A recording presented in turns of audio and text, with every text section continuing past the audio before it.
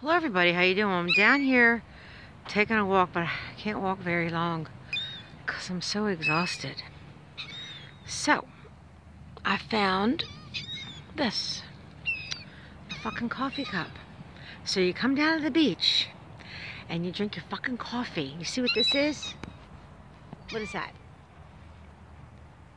It's a big fucking trash can, right? So you see what this is? It's a fucking coffee cup. And where's it go? Fucking trash can.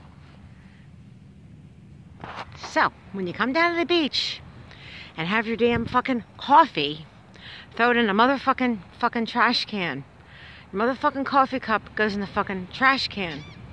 Okay? You think you can do that? You're a poor excuse for a human. If you can't see this big fucking motherfucking trash can with your two fucking eyeballs, then you need to go get your fucking eyes checked and you need to go get some motherfucking motherfucking eye motherfucking glasses.